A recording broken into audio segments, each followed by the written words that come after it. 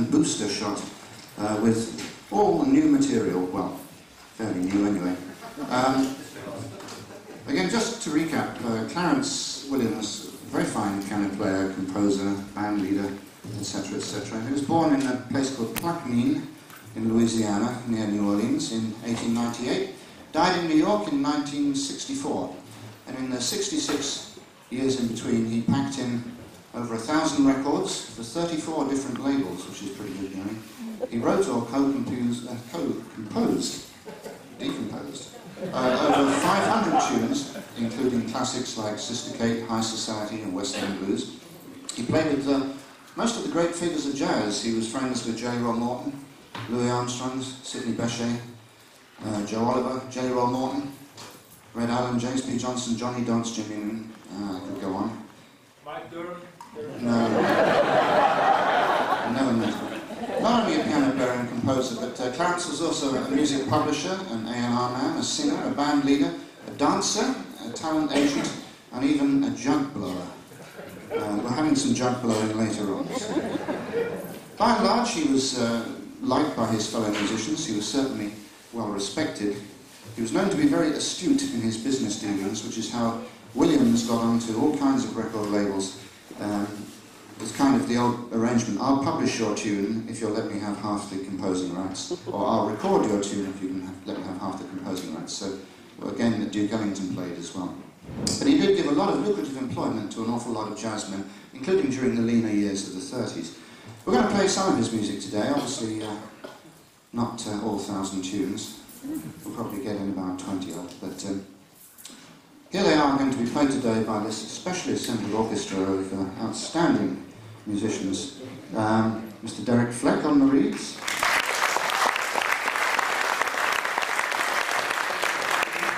Brian Chester on the trombone. Mac Smith on guitar and banjo. And uh, specially brought in for this occasion, Mr. Warren Latham on the drums. Philip Rutherford on the sousaphone. And uh, Mr. Jon Penn on piano. Jon, of course, will be uh, playing Clarence's part today. We, we tried to persuade him to get his head specially clamped to get that elongated Williams look, but he, he wouldn't do it. Verisimilitude goes only so far.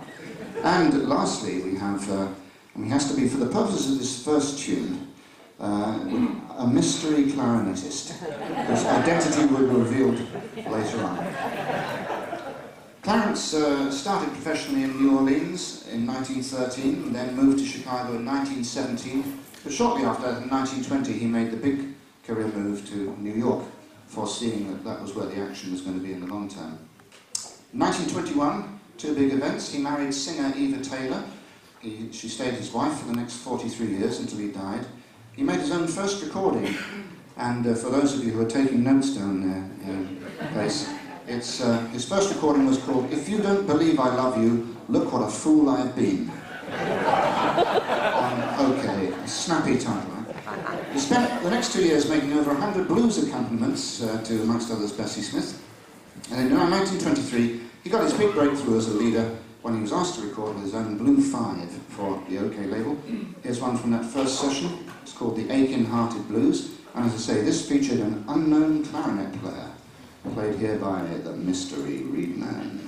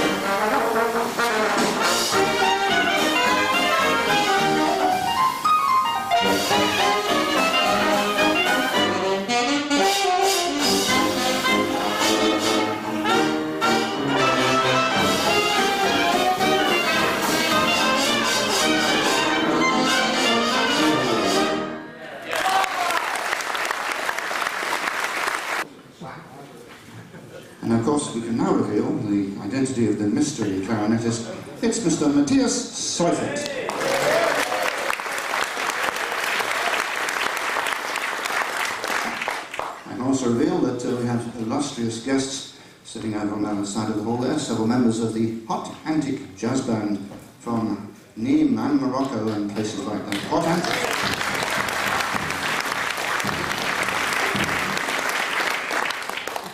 And there's a little World Cup prelude.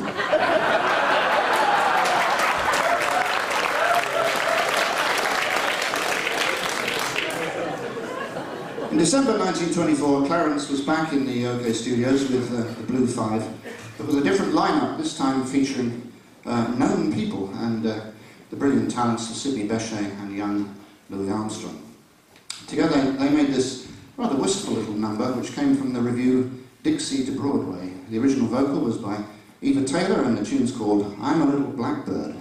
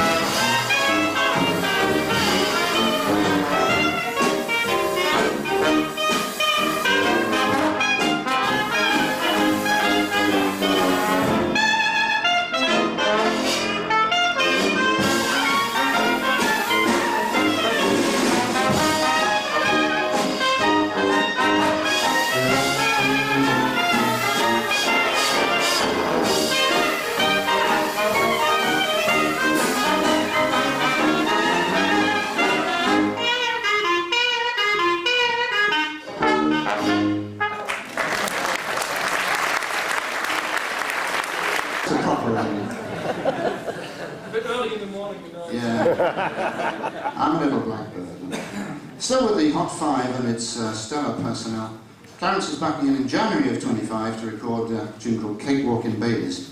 But uh, two months earlier, he made the same tune without a vocal uh, for Gennett, another label, under the name of the Red Onion Jazz Babies. So here's Derek Fleck on soprano to be Mr. Bechet, and uh, this is the original tempo, rather fast. The ads in the Chicago Defender said, This one is a whammy doodle, don't miss it.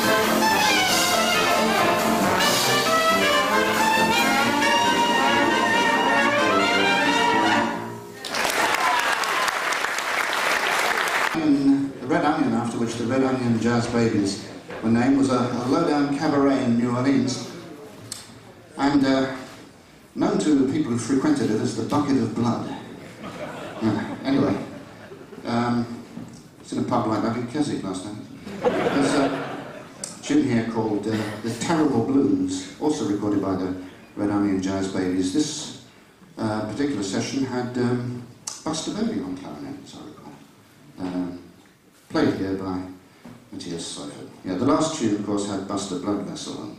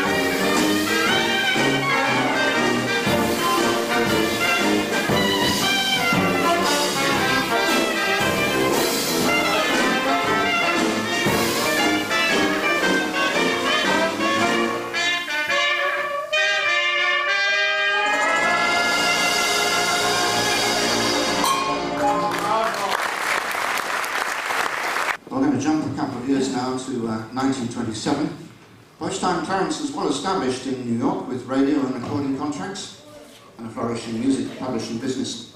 Here's a tune he wrote in 27 and recorded with his washboard band.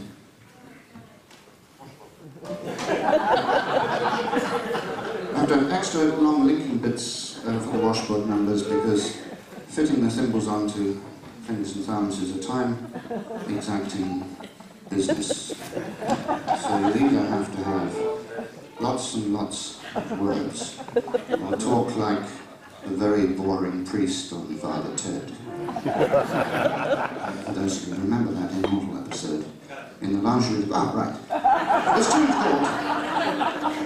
Yeah, the washboard player on this one was uh, Floyd Casey, uh, who stayed with Clarence on off for the next uh, 10, 12 years. The tune's called Nobody But My Baby Is Getting My Love.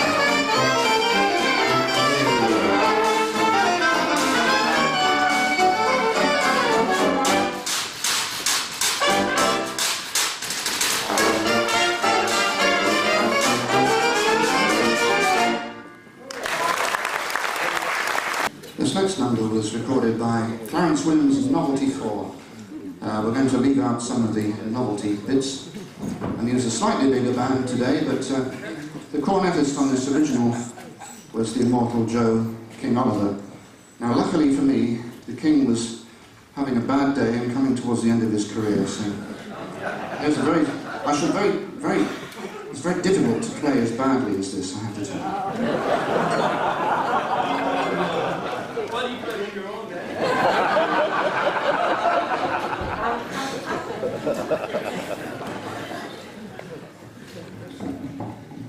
Called uh, What Do You Want Me to Do?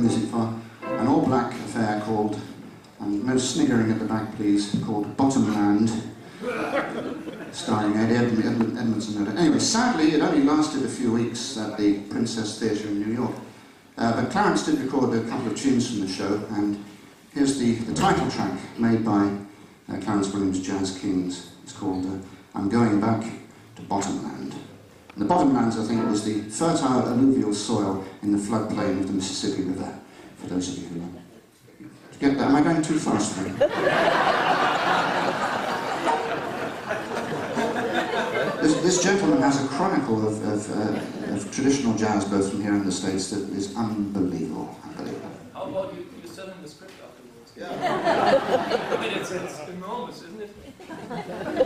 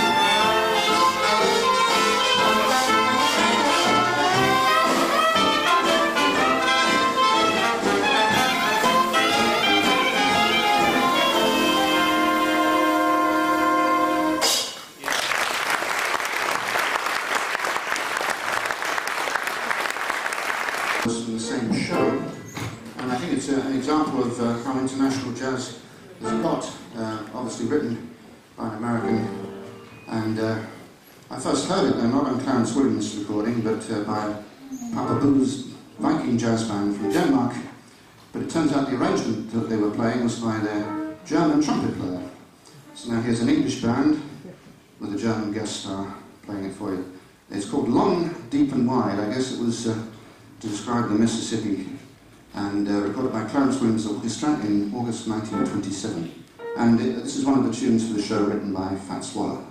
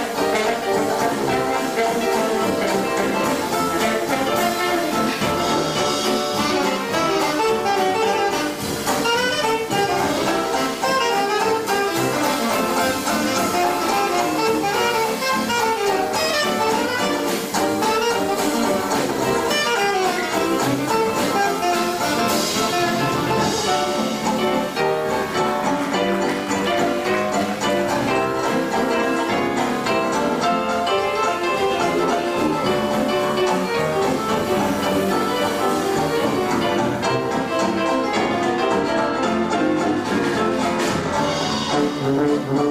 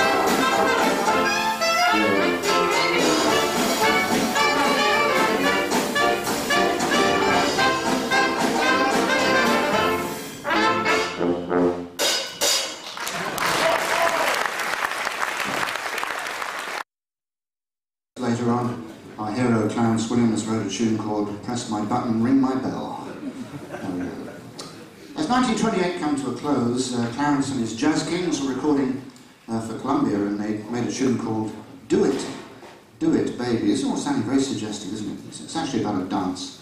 Um, later years, he, uh, this tune was rejected at the time uh, by the record company, but in later years he went on to record the same tune with slightly different words as Shim Sham Shimmy and Harlem, Harlem Rhythm Dance. Anyway, here's Do It Baby under its original 1928 title and with its original words, and we'll see whether it's worthy of issue this time.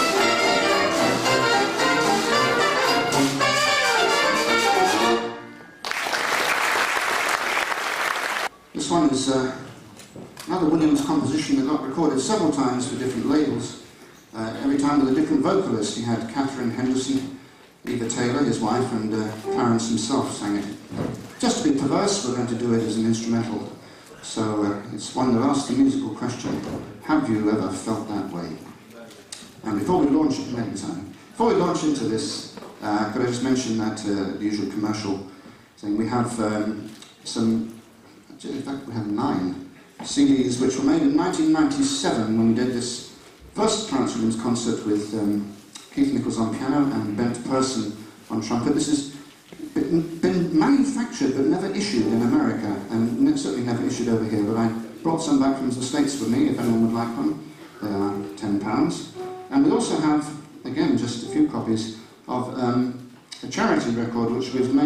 Whitley Bay Jazz Festival and you've got on that uh, six, no, eight eight clarinetists playing various reeds between them, and we also have, for those of you who saw it last night and would like to have it on record, a piano demolishing competition between Keith Nichols and, um, uh, oh, what's his name, the young lad from the Martin, uh, thank you, yes.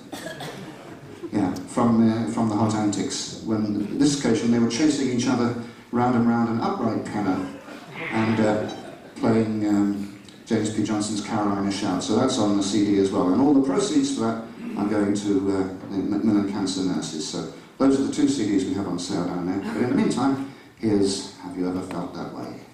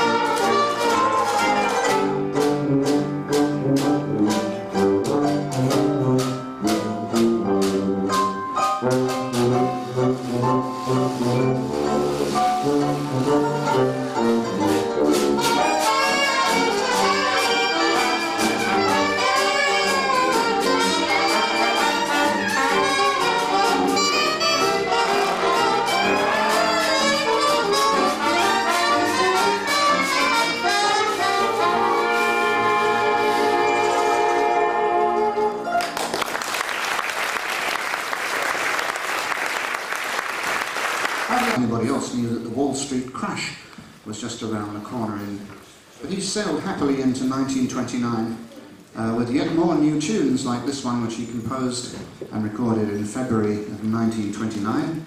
It's a number called If You Like Me, Like I Like You, or if you're an English public school boy, if one likes one, like one likes one. not in the dormitory after lights out. There is, there is this other title that could connect with this one. It's I like what I like, like I like it. So if you like me, like I like you, I like what I like, like I like it. We're playing it at the same time. And and the, the, late- the wonderful Bob Helm, he, he wrote a tune called How Am I Gonna How Am I Gonna Do It If I Don't Know What You Crave?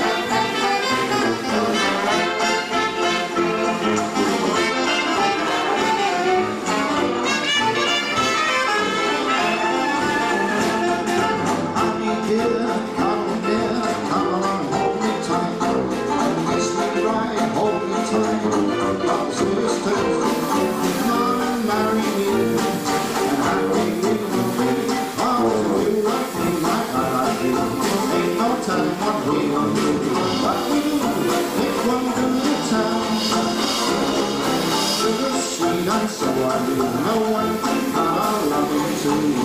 All around,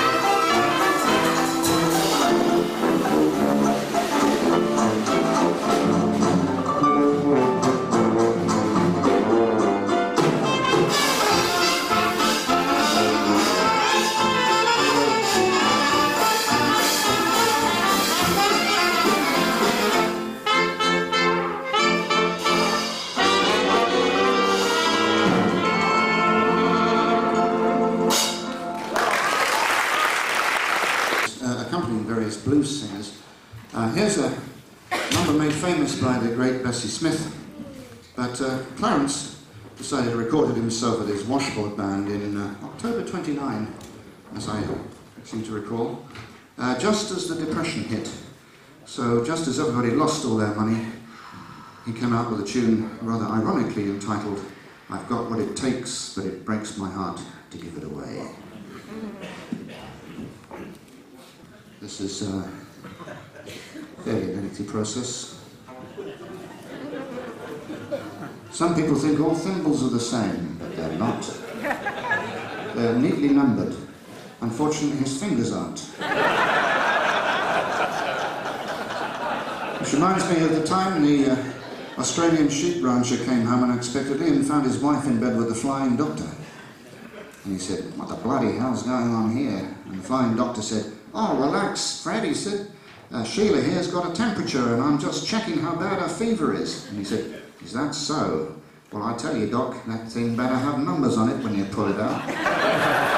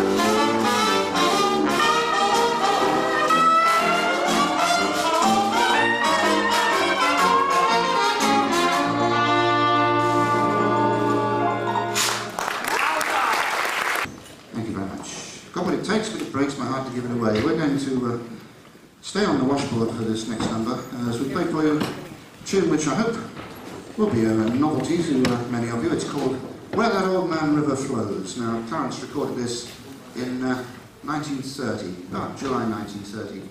Although his recording activities had slowed down a lot, and over 100 sides in 1928, less than 40 in 1930, but he was still getting his publishing royalties coming in, and uh, he and Eagle were getting plenty of radio work. He was singing gospel quartets on the radio, anything, anything to turn back.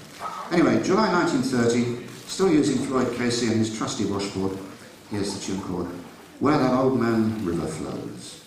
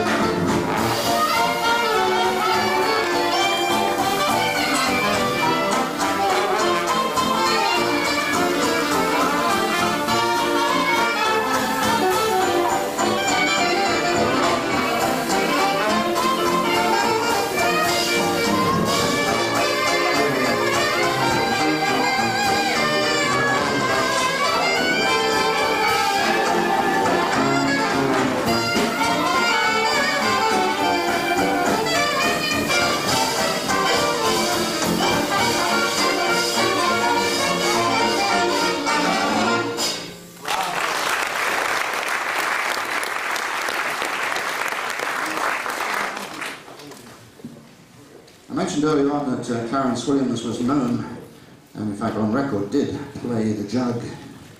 Now, well, this is a tune that he did record uh, playing the jug, but mercifully, Phil Rutherford broke the band's jug last night, trying to get the last drops out. So, uh, now here's a proto-blues tune. It's one of those eight-bar sequences. Even before the 12-bar blues, um, it's a tune called uh, Sitting on Top of the World, recorded by people as diverse as blues singer Robert Johnson, uh, saxophonist Lester Young, uh, someone called Mick Jagger, and uh, the Memphis Jug Band, and I've heard of them. Uh, Clarence recorded it in 1930, one of his fairly rare straight bluesish performance. Here he is, Sitting on Top of the World.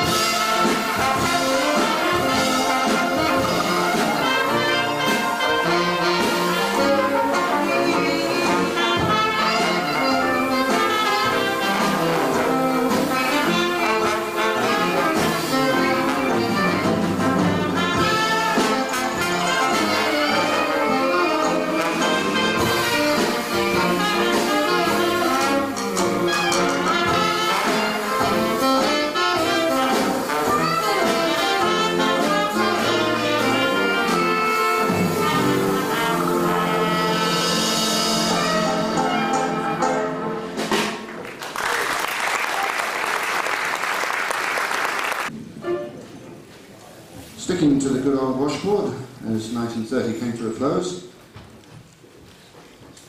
Clarence made this next recording one of his own compositions with a band including uh, Buster Bailey on clarinet. Now, Buster Bailey last appeared on a Williams recording in 1925, so uh, maybe it was something he said, who knows.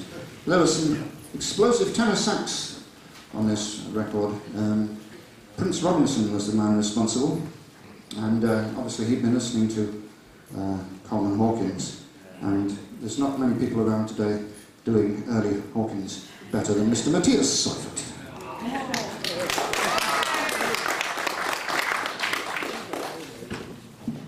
I forgot to mention the title of the tune. I do a hot antic again. It's called Kentucky. Kentucky. As I say, in the early days when Michel Bastide was doing that, the band used to play everything twice, but. Anyway, Kentucky it is.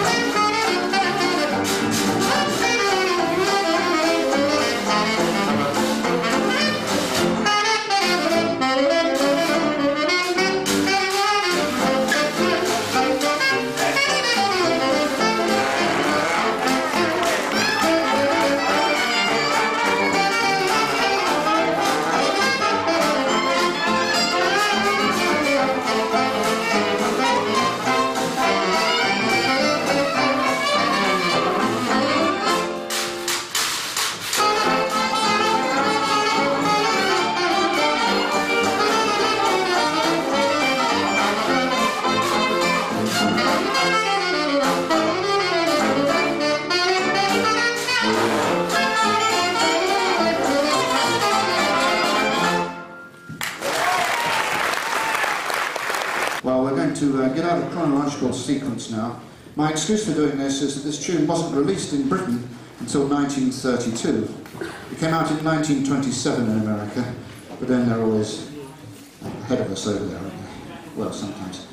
The title of this tune was Take Your Black Bottom Outside. When it did finally get issued over here, the powers that be, for some unknown reason, decided to retitle it. So British record buyers knew it, those who acquired a copy of the uh, Parlophone, it was titled Stop That Black Bottom Dance. Sounds like something, something in the Ministry of Culture. Stop that black bottom dance at once, degenerate.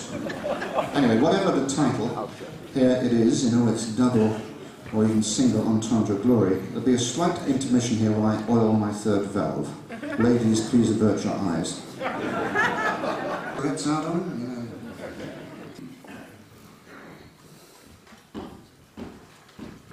Ha ha!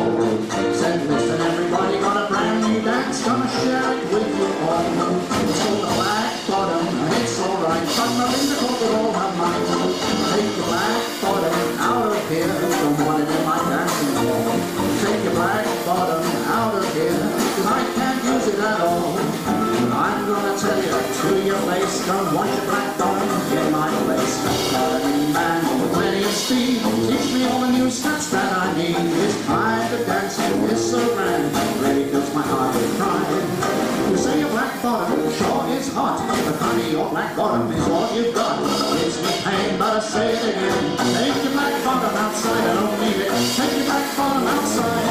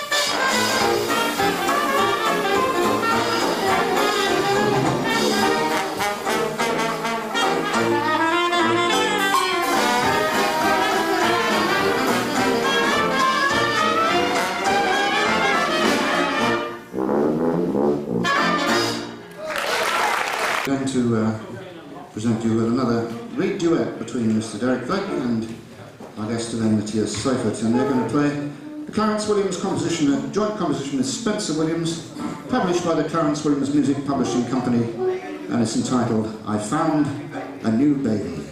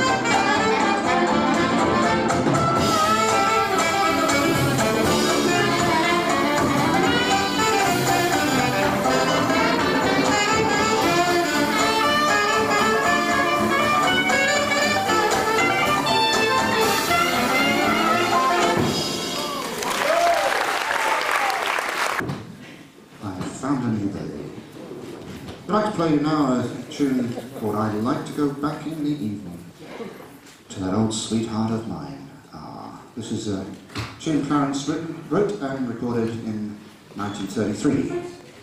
Um, Clarence Williams Orchestra is run back in the lovely Eva Taylor.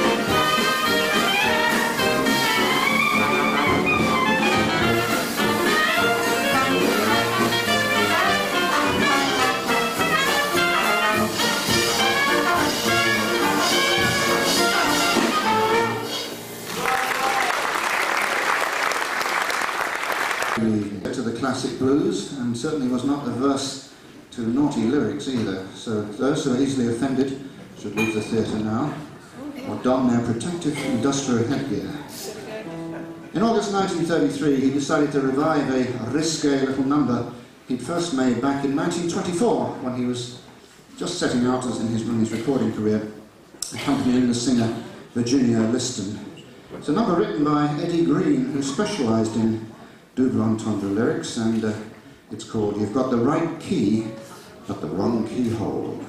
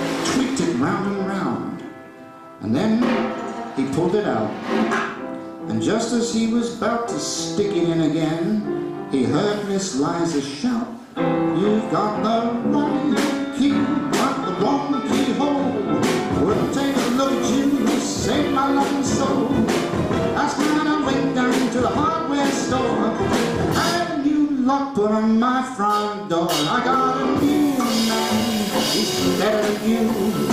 He starts his line, honey, where you get through. So take my advice, don't hang around my door. Cause your key don't take my lock no more. You got the right key, but you're messing with the wrong keyhole. Yes, sir.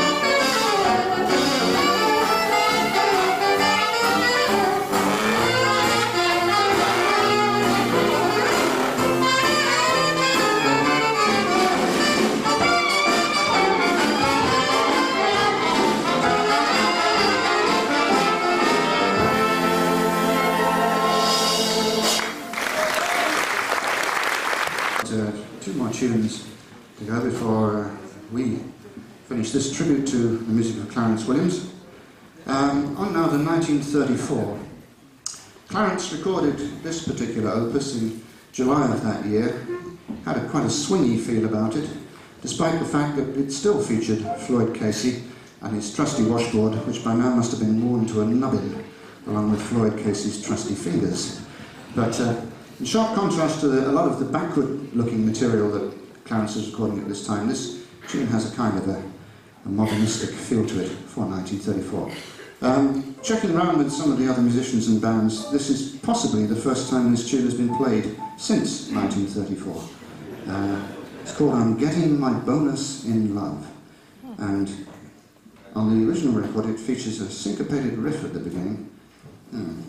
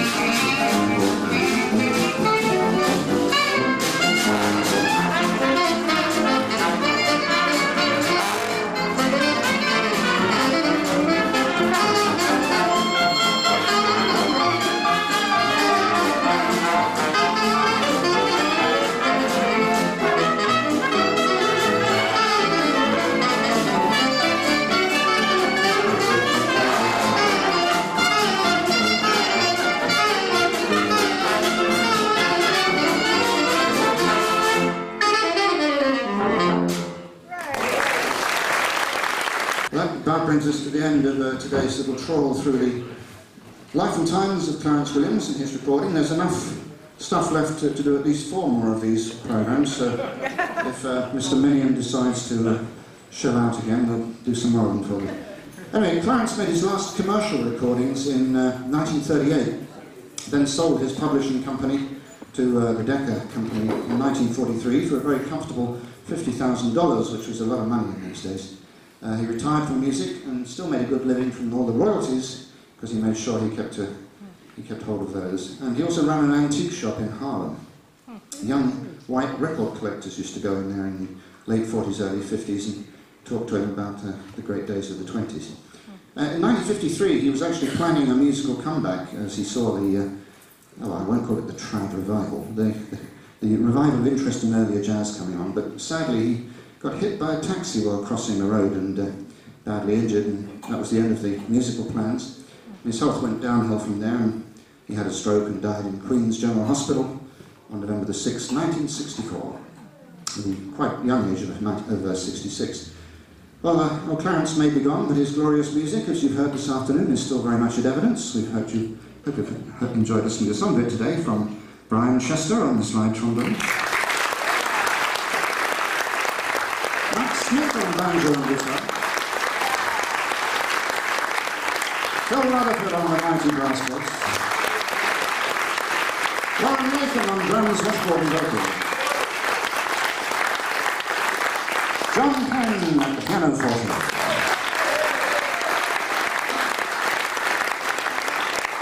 And our special guest brought to you all the way from Reading, Mr. Matthias Seuffert.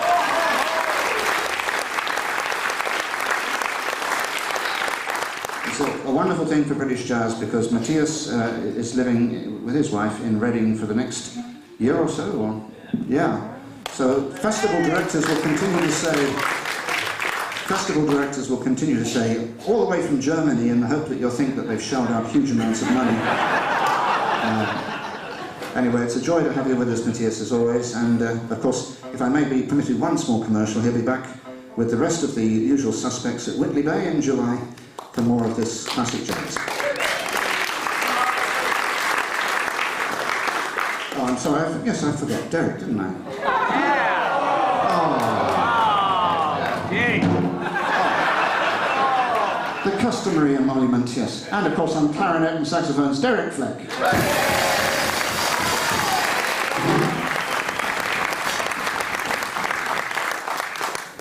Importantly, I've forgotten myself, but there we are. Um, if you like this music, you can take some of these great tunes home with you on, on CD. We've got one or two of those left. Just, uh, in fact, just two copies of the Clarence Williams CD with Bent Persson and Keith Nichols on it. Um, but there's some other stuff there with uh, lots of Clarence tunes on.